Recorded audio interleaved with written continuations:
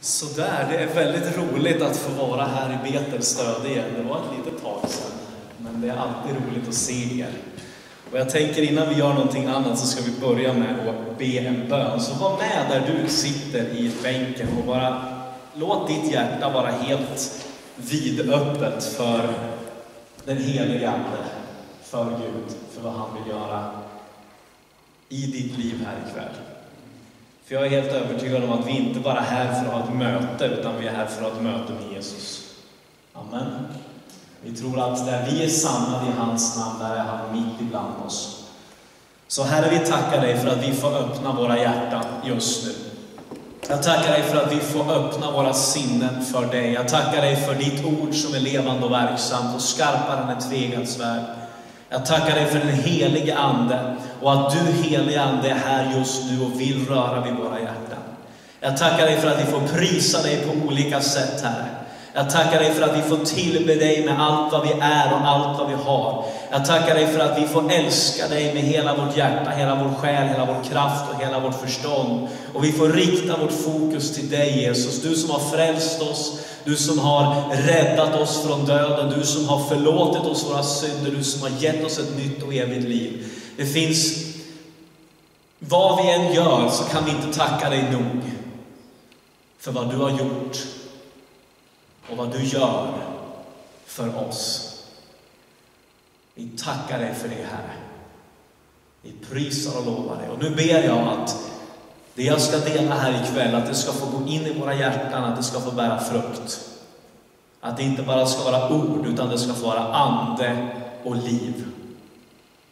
Och jag ber att det ska få gå in i våra hjärtan. I Jesu namn. Amen. Se om vi får upp eh, någon bild här också på, på skärmen. Vi trycker någon till här. Där ser ni ett hebreiskt ord. Det är eh, shema. Ett verb som eh, bland annat finns med i den israeliska eller judiska trosbekännelsen. Shema Israel' Yahweh Eloheinu, Yahweh Echad. Det ber de flera gånger om dagen. Det betyder Hör Israel, Herren är vår Gud. Herren är en. Och det här kommer från femte Moseboken kapitel 6. Så jag har tänkt att tala lite grann om det här ordet Shema. Därför att det är en oerhört viktig nyckel för andlig växt. Jag har hört att ni har pratat om att växa andligt här. Och eh, det här ordet skulle jag säga, det är helt avgörande. Inte ordet i sig, men vad det betyder. Och vad det kan få betyda i våra liv. Var och en. Det här ordet betyder att höra, att lyssna, att lyda, att ge respons på, att ge gensvar. Ni ser flera av betydelserna där på skärmen. Så det är ett och samma ord i hebreiskan för att lyssna och att lyda. Det är inte två olika saker.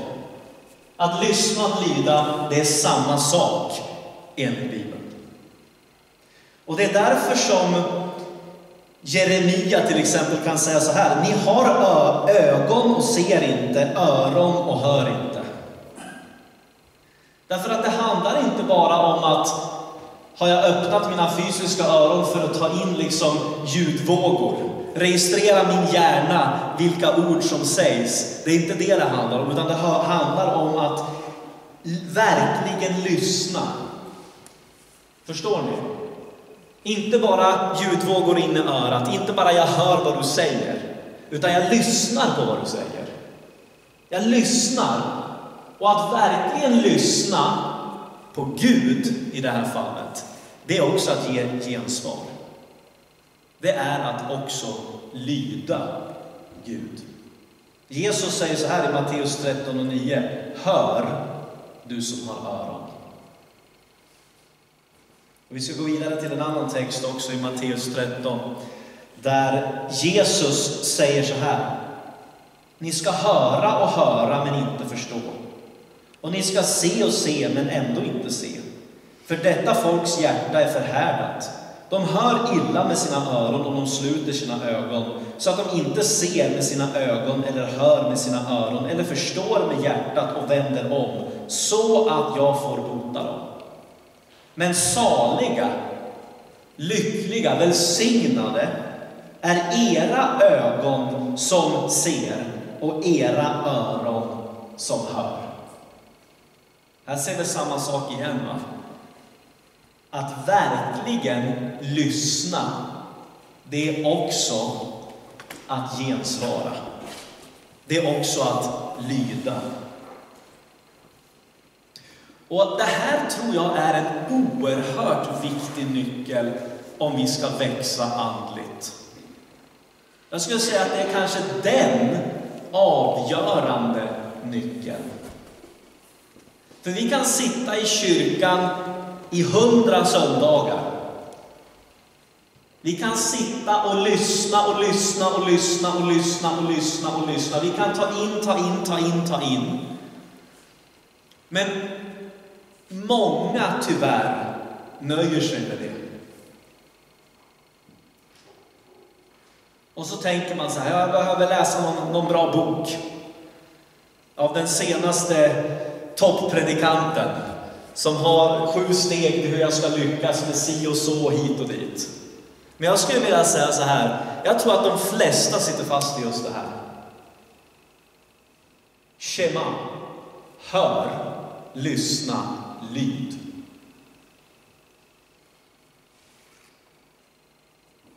Salomo har ni säkert hört talas om i Gamla Testamentet. Han som var en av de visaste männen på jorden. Det står så här i Första Kungaboken 3. I Gibeon visade sig Herren för Salomo i en dröm om natten. Gud sa, be mig om det du vill att jag ska ge dig. Salomo svarade, Herre min Gud, nu har du gjort din tjänare till kung efter min far David. Men jag är bara en ung man, jag vet varken ut eller in. Och så ber han den här bönen. Ge din tjänare ett lyhört hjärta. Och där är det precis det här ordet igen, shema. Ge din tjänare ett lyhört hjärta. Eller, har vi ju lärt oss nu, ett lydigt hjärta. Det är samma sak. Det är ingen skillnad. Så att han kan vara domare för ditt folk och skilja mellan gott och ont. Det gladde Herren att Salomo bad om detta. Gud sa till honom, eftersom du har bett om detta och inte bett om långt liv, rikedom eller dina fienders liv, utan om att kunna förstå vad som är rätt, därför vill jag göra som du önskar och ge dig ett så vist och förståndigt hjärta att ingen som du har funnits före dig och inte heller ska komma efter dig. Dessutom ger jag dig vad du inte har bett om, nämligen både rikedom och ära, så att ingen kung i alla dina dagar ska vara din liv. Alltså Gud gillade Salomos bön. Gud kom ju och sa, be mig om vad du vill. Jag vet inte vad du skulle ha bett om, om Gud kommer till dig i en dröm om natten och så säger han så här, Simon, eller du får sätta in ditt namn, nu får du be om precis vad du vill. Vad skulle du be om?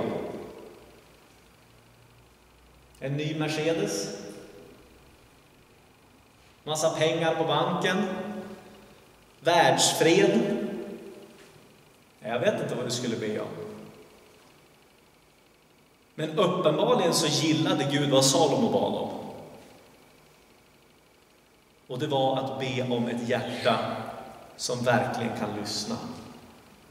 Ett hjärta som är mjukt och mottagligt för Guds ord. Så att det inte bara blir att jag blir en ordets hörare, utan också dess görare. Och som Jakob säger, för annars bedrar vi oss själva. Om vi bara hör och hör och hör, men inte omsätter det i handling, så har vi inte verkligen lyssnat. Och då bedrar vi oss själva. Om vi vill växa i vår tro, om vi vill växa andligt, så behöver vi vara villiga att lyssna på riktigt. Och jag är övertygad om att Gud talar och att han vill tala till oss alla på olika sätt. Vi kommer in på det lite senare. Det här med att höra Guds röst, det är någonting som är viktigt genom hela Bibeln. I femte Moseboken 13 och 4 så säger Gud så här. Herren er Gud ska ni följa Honom ska ni frukta, hans bud ska ni hålla, hans röst ska ni lyssna till. Honom ska ni tjäna och honom ska ni hålla er till. Alltså att ge sig in i en relation med Bibelns Gud, med Israels Gud, med Abrahams, Isaks och Jakobs Gud, med Jesu Gud. Den Gud som Jesus är förkroppsligad. Att ge sig in i en relation med honom, det är inte en relation där man kan hålla på och vänsterprassla. Det är inte någon hinduisk gud som är helt okej okay med att du har tre miljoner andra gudar i ditt liv. Utan han är en Gud som vill vara the one and only. Och han vill att vi ska lyssna och höra hans röst. I femte Moseboken 28, första verserna, så står det så här. Om du lyssnar till Herren, din Guds röst, genom att noggrant följa alla hans bud som jag idag ger dig, så ska Herren, din Gud, upphöja dig över alla folk på jorden. Och alla dessa välsignelser ska komma över dig och nå fram till dig när du lyssnar till Herren, din Guds röst. Och sen fortsätter det flera, flera långa verser om hur Gud ska välsigna allt möjligt i ens liv. Och så står det också längre fram, det har jag inte med här, men det står längre fram att om du inte lyssnar kommer inte de här välsignelserna, då kommer förbannelserna istället. En del tänker att det här med att lyda, det är någonting som försvann i och med att Jesus kom. När Jesus kom, då, då liksom ska vi inte följa lagen längre, så kan vi strunta i att lyda Gud också. Men så är det ju inte riktigt. Jesus själv säger så här att ni är mina vänner. Och vi stannar ofta där och så tänker vi att jaha, vad härligt att vi får vara Jesu vänner. Men han säger så här i Johannes 15 och 14, ni är mina vänner om ni gör vad jag befaller er. Jesus är inte intresserad av att du och jag ska vara lagiska och att vi ska upprätta någon slags relation med honom genom vad vi gör. Vi har fått nåd, vi får förlåtelse, vi får leva genom den heliga Ande. Men vi får nåd och vi får förlåtelse och vi får den heliga Ande för att också leva sen i ett liv i efterföljelse. Att gå i Jesu fotspår, att låta honom forma oss så att vi blir förändrade. Man brukar ju säga så här, jag vet inte om ni har sett den bilden, det är någon som står och håller tal och så säger hur många är det som vill ha förändring? Och alla räcker upp handen. Hur många är det som vill förändras? Ingen räcker upp handen. Det är lite så vi är vi som människor. Vi vill gärna se förändring i någon annan. Vi vill gärna se förändring i politiken. Vi vill gärna se förändring i kyrkan, för vi håller inte med om exakt hur man gör allting. Men sen kommer Gud och så pekar han på ditt och mitt hjärta och så säger han, jag vill förändra dig. Jag vill förändra dig Simon. Är du med på det? Är du villig? Och allting hänger på vad jag svarar på den frågan. Församlingen förändras inte förrän du och jag börjar förändras. För det är vi som är församlingen. Det är vi som är salt och ljus i världen. Om vi går till Nya Testamentet då. Johannes 10. Då säger Jesus så här. Den som går in genom porten är fårens herde. För honom öppnar portvakten och fåren lyssnar till hans röst. Han kallar på sina får och nämner dem vid namn och för ut dem. När han har fört ut alla sina får går han före dem. Och fåren följer honom eftersom de känner hans röst. Men en främling följer de inte, utan flyr från honom, för de känner inte främlingars röst. Och så fortsätter i vers 14. Jag är den gode herden. Jag känner mina får, och mina får känner mig. Liksom Fadern känner mig och jag känner Fadern. Och jag ger mitt liv för fåren. Jag har också andra får som inte hör till den här fållan, alltså till Israel. Också dem måste jag leda, och de kommer att lyssna till min röst. Så ska det bli en jord och en herde. Och i vers 27 står det så här. Mina får lyssnar till min röst, och jag känner dem, och de följer mig. Det här går som en tråd genom hela Bibeln. Oavsett om vi talar om gamla förbundet eller nya förbundet, så vill Gud att vi ska lyssna till hans röst och att vi ska följa honom. Att vi ska leva i en relation med honom som förvandlar oss inifrån och ut. I Hebreerbrevet 3, vers 7 och 8 så står det så här. Därför säger den helige Ande, idag, visst är det idag, idag? Bra. Han säger inte imorgon. Det är många som vill lyda imorgon, när de har fixat till allting annat i sitt liv som de tycker inte är på plats. Och tänker att imorgon ska jag börja lyda Gud. Men det, det brukar sällan fungera. Idag, om ni hör hans röst, så förhärda inte era hjärtan. Som vid upproret, som på prövningens dag i öknen. Idag, om ni hör hans röst, så förhärda inte era hjärtan. Och i sista boken i Bibeln, i Uppenbarelseboken, så säger Jesus själv så här, Se, jag står vid dörren och knackar. Om någon hör min röst och öppnar dörren, ska jag gå in till honom och hålla måltid med honom och han med mig. Du som har öron, hör vad Anden säger till församlingarna. Jag ska ta nästa bild här. Jag tycker den här är lite rolig. Det är ett får som ligger i en solstol och tittar på TV och han har radion på och han har stoppat i hörlurar och han sitter och läser en bok och han lyssnar på han har datorn framför sig där också. Så ser vi herden stå där lite bakom och ropar så här. Och så ligger det här fåret i den här solstolen med alla de här andra ljuden och rösterna och inputen och så säger han så här, jag undrar varför jag inte hör så mycket från herden längre. Och så där tror jag att det kanske kan vara, speciellt i vår tid också. Vet du, jag tror att alla kristna, alla som är födda på nytt av Guds ande, därför att man har omvänt sig och tror, har satt sin förtröstan till Jesus, alla som är kristna har andliga öron. Precis som när man föds i det biologiska så har man oftast öron om ingenting har gått fel. Men Gud gör inget fel när han föder på nytt. Man har öron, man kanske inte kan språket, man kanske inte förstår ljuden, men man hör.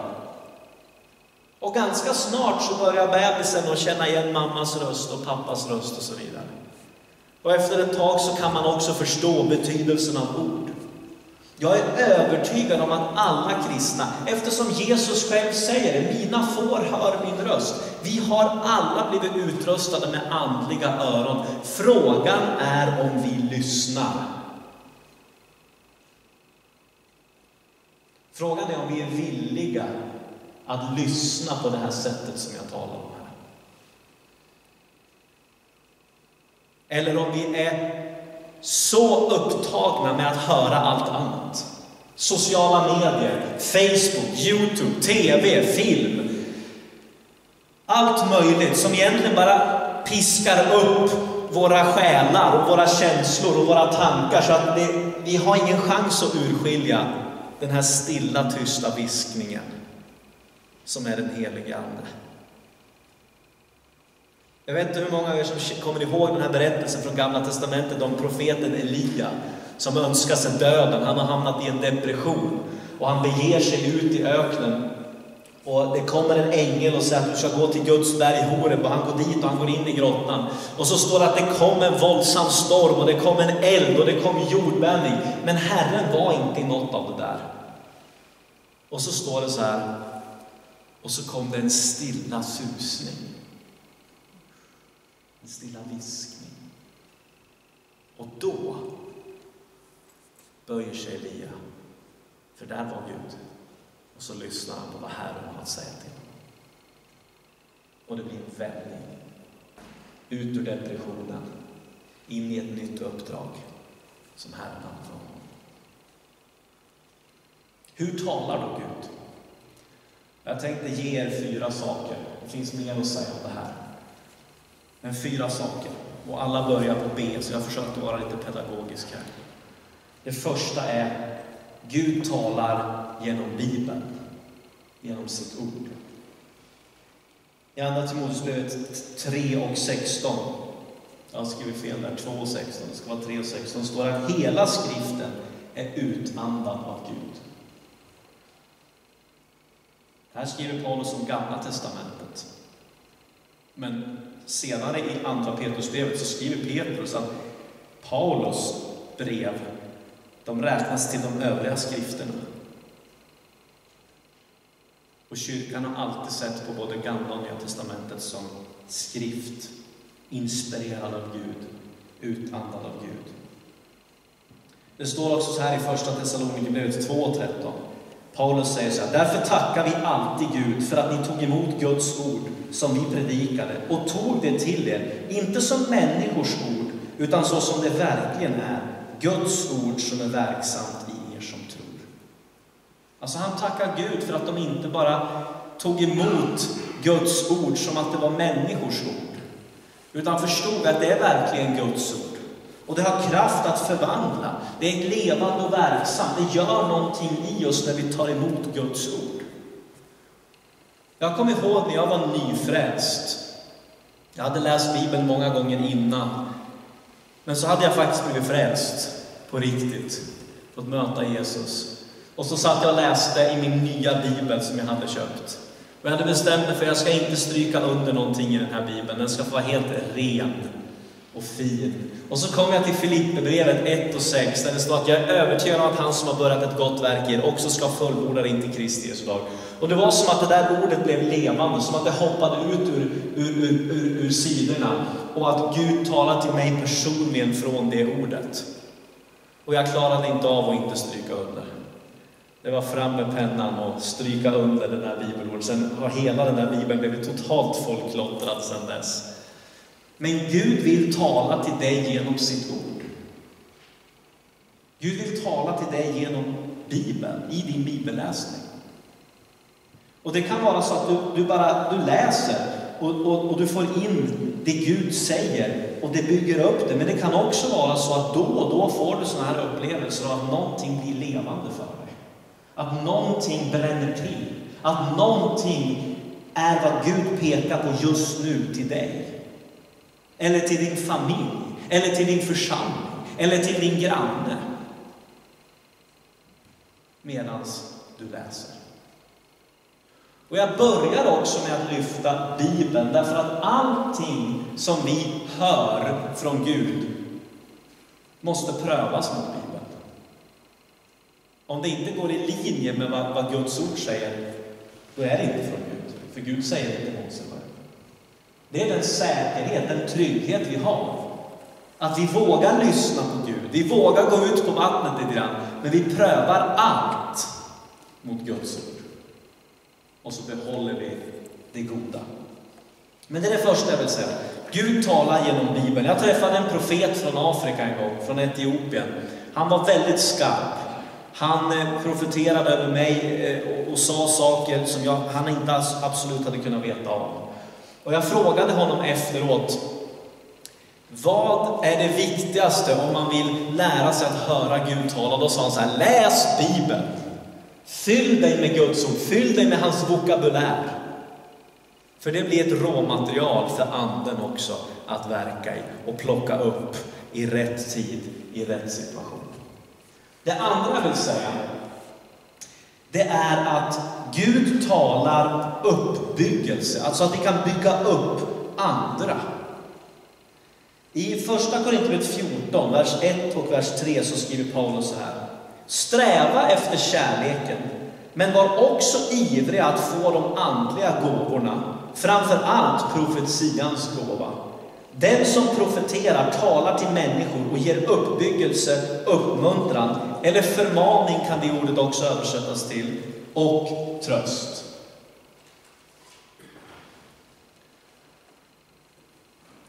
Här talar Paulus på något sätt om det grundläggande profetiska i Nya Förbundet, i den kristnes liv. Att vi alla ska sträva efter kärleken, men också vara ivriga efter de andliga gåvorna och framför allt profetian. Varför då, säger Paulus? Jo, därför att profetian uppbygger andra människor. Tungotalet är för dig själv, men profetian är för någon annan. Och jag vet inte hur många av er som har varit med om det, men för mig hjälpte det när, en person sa så här att har du någon gång känt att du bara skulle vilja uppmuntra en, en, en specifik person? Har du någon gång känt att det liksom bubblar upp inom dig, att jag skulle jag vilja be för den här människan? Och så sa jag, ja, det har jag faktiskt varit med om.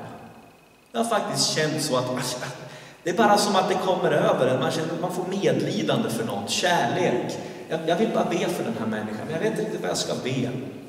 Eller har du någon gång fått tanken, men ring till den här människan, eller skriv ett sms och bara säg något uppmuntrande. Jag tänker på dig. Är det någon av er som har fått någon sån impuls någon gång? Och det är flera som räcker upp handen. Jag tror att det kanske är fler också som sitter och undrar och inte vågar. Det där tror jag kan vara den heliga Ande som vill uppbygga andra genom dig. Om det du får är till uppbyggelse, uppmuntran eller tröst, så är det lite som kan slå fel. Även om det skulle bara vara du. Faktiskt. Men jag har märkt det, att när jag börjar agera på de impulserna så växer också min förmåga att faktiskt lyssna in Gud. Att tala uppmuntran, uppbyggelse och tröst till andra människor. När du känner en sån impuls, när du känner en sån maning, våga gå på den. Våga ge den hälsningen. Du måste inte säga så säger Herren, du kan säga så här, jag upplevde, eller jag skulle bara vilja uppmuntra dig med det här. Du kanske har fått ett bibelord till och med. Hur säkert kan det bli, menar jag? Om du får ett bibelord att ge till någon. Det kan ju inte slå fel, även om det bara var du som tänkte det. Och så får man lära sig genom att faktiskt gå ut på vattnet, genom att faktiskt försöka, genom att faktiskt lyda och gå och inte bara höra, utan verkligen lyssna. Den tredje jag skulle vilja lyfta upp, det är att Gud talar ofta genom bilder till oss. I Apostlagärningarna 2, 17 och 18 så står det så här. Era söner och era döttrar ska profetera, era unga ska se syner och era gamla ska ha drömmar. Jag över mina tjänare och tjänarinnor ska jag i de dagarna utgjuta av min ande och de ska profetera. Den heliga Ande använder ofta bildspråk när han talar till oss. Det kan vi se i Bibeln, som han har inspirerat. Men också i, i våra personliga liv, när vi ber för någon annan. Du kanske får en bild i ditt inre. Det behöver inte vara en syn, det behöver inte vara en dröm, det behöver inte vara en supertydlig vision. Men du kanske får en inre bild. En metafor, någonting som hjälper dig att förstå vad det är du ska be för. Eller någonting som hjälper dig i din situation över någonting du funderar över. I Pingstkyrkan i morse så hade vi en gudstjänst där jag också predikade, fast jag predikade om att, att fasta. Det är också en nyckel till andlig tillväxt för övrigt. Eh, och efter att jag var klar och hade gått ner och vi stod och sjöng lovsånger till tillbad Gud så fick pastorn Tommy en bild som han gick upp och delade. Och bilden han fick var att Gud, vill, Gud kommer som ett regn. Det talas ju i Bibeln ibland om, om, om anden som ett regn. Och att Gud kommer komma med regnet. Men han sa att jag ser att en del sitter, fäller upp paraplyerna. Och Herren hälsar bara, fäll ner paraplyerna, det här är ett bra regn. Var inte rädda för det, för det, Gud, för det jag vill göra. Därför att när du fäller upp paraplyet så är det, det är inte bara dig själv du hindrar, det kan också vara de som står bredvid dig. Fäll ner paraplyet, ta emot det. Det är bara ett exempel på hur Gud kan tala i bilder, och visst förstår vi den bilden. En bild säger ibland mer än tusen ord, säger man ju. Om den helige Ande verkar gilla att tala i bilder, så var öppen för det. Och det tredje, eller fjärde som jag vill lyfta upp, det är att Gud, den helige Ande, talar ofta genom att ge bekräftelse. Det står så här i Romarbrevet 8 och 16. Anden själv vittnar med vår ande. Och i första Johannesbrevet 4 och 6 så skriver Johannes så här. Vi tillhör Gud. Den som känner Gud lyssnar till oss. Den som inte är av Gud lyssnar inte till oss. Det är så vi känner igen sanningens ande och villfarelsens ande.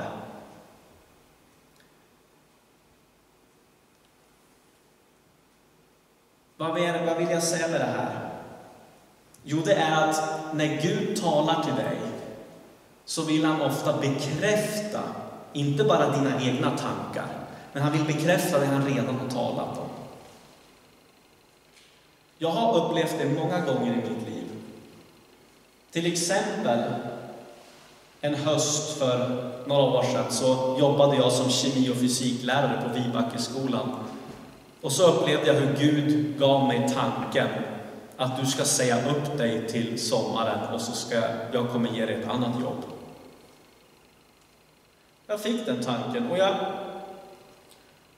hade den där känslan kopplad till tanken som jag har haft ibland förut när det har visat sig att det var Gud som gav den. Och då sa jag bara så här till Gud, du måste bekräfta det här. Jag tänker inte bara gå på något hur som helst, jag vill ha bekräftelse. Så jag bad Gud om bekräftelse. Sen var jag på ett möte. Jag var inte deltagare i någonting, jag bara stod och sjöng lovsång. Och så personen som står bredvid mig knackar mig på axeln och säger så här, du, och då tänkte jag just på det här. Jag satt och funderade på det i lovsången, hur ska det bli med det här? Och så säger han så här, du, det du tänker på just nu, det är Gud, från Gud. Han hade ingen aning vad det var. Det var den första bekräftelsen. Sen fick jag en annan bekräftelse när jag var fram till förbön i något sammanhang. Och sen fick jag den tredje bekräftelsen i att när jag faktiskt vågade gå ut på det där och inte förnya min tjänst på skolan, utan kliva ut i arbetslösheten över sommarlovet och vänta på vad är det för något Gud ska öppna, så öppnade sig en dörr och så fick jag jobb i Pingstkyrkan i Sundsvall. Gud vill bekräfta det du tror att du har hört, om det är han som har sagt det. Och det finns lite olika sätt. Eh, Gud kan tala genom att ge oss frid, han kan bekräfta genom frid eller ofrid. Jag brukar likna det vid ett andligt trafikljus i ditt inre. Om du står inför ett beslut eller du funderar på det här från Gud eller inte, så kan Gud ge dig grönt ljus, du känner frid, det betyder kör på. Det kan vara rött ljus, det är stopp, det här är inte. Och det kan vara gult ljus. Och gult ljus, det betyder vänta. Det betyder inte kör, det betyder vänta. För det kommer slå om till grönt eller rött förr eller senare. Det kan också vara så att Gud bekräftar vad du redan tror att du har hört från honom. Och det kan vara så att han öppnar och stänger dörrar. Att han talar genom omständigheter på olika sätt.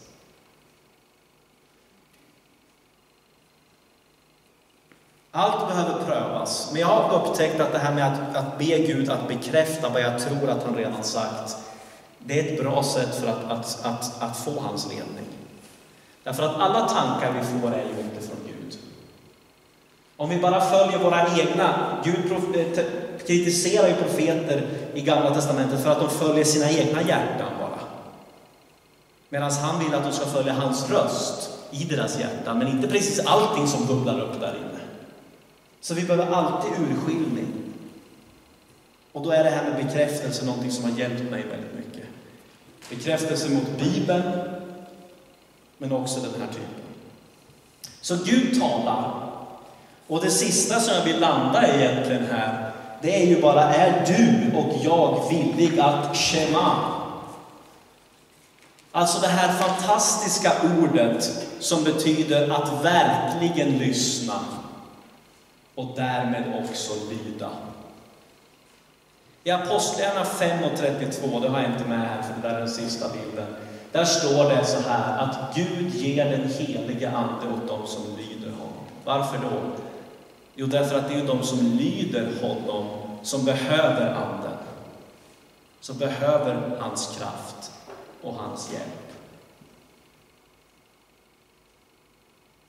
Om du är villig att verkligen lyssna och lyda, då är jag övertygad utifrån Guds ord att du kommer att höra Gud tala. Och du kommer att växa andligt. Du kommer växa i ditt liv med Gud. Och du kommer få vara med om saker som du inte kunde drömma om. Det står i psalm 25 och vers 14 att Herren umgås förtroligt med dem som fruktar honom. Alltså med de som respekterar och som är villiga att lyda. Som inte har Herren bara som en slags bonus i sitt liv eller någon liten krydda på moset. Utan som har förstått att Herren är Herren. Om han existerar, om han finns, då är det det största, viktigaste i hela mitt liv att leva med honom och att följa honom. Och om du tvekar på det här med att följa honom, att lyda honom, så vill jag bara säga en sak. Gud är god. Om du kan landa i ditt hjärta i att Gud vet ditt bästa och han vill ditt bästa, då blir det också enklare att följa honom, även när du inte alltid förstår varför. Amen. Herre, jag tackar dig för din nåd. Jag tackar dig för din kärlek. Jag tackar dig för att jag tror att du har velat tala till oss ikväll. Och jag ber här att du ska hjälpa oss att bli bättre lyssnare. Att inte bara be dig välsigna våra verk, utan att ha ett lyhört hjärta, precis som Salomo bad om.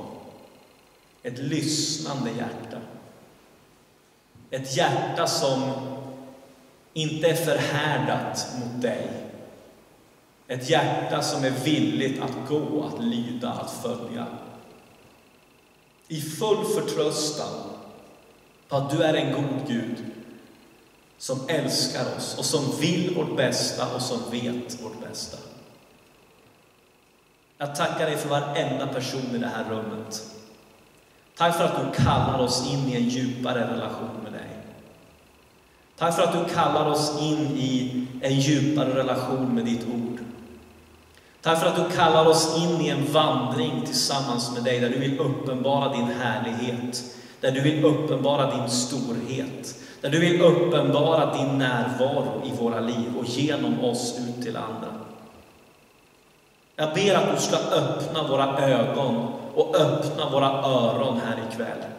Jag ber att du ska rensa ut andliga vaxproppar, Herre.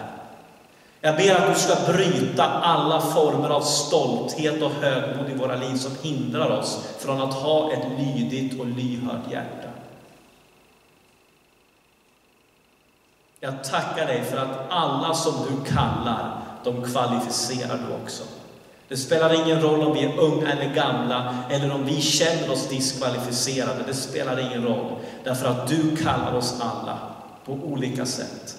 Och du utrustar med din Ande och med din kraft för de olika typer av uppgifter du ger oss. Jag tackar och lovar dig för det. Och jag ber helige Ande att du redan nu ska börja tala till våra hjärtan. Att du redan nu ska börja ge bilder för våra liv.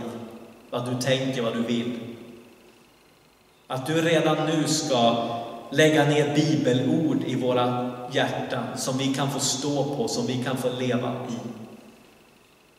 Att du redan nu ska ge oss kreativa idéer för hur vi kan vara med och breda ut ditt rike i Stöde och där vi finns. Till våra grannar och vänner. Jag tackar dig för det. Och jag vill bara be om din välsignelse över den här församlingen. Jag vill bara be om din välsignelse över varenda en av oss som sitter här inne just nu. Och jag ber, tala Herre. Vi vill höra. Vi vill säga som Jesaja, här är jag, sänd mig. Vi vill säga som Samuel, tala Herre, din tjänare hör. Vi vill säga som Salomo, ge oss lyhörda hjärtan. I Jesu namn.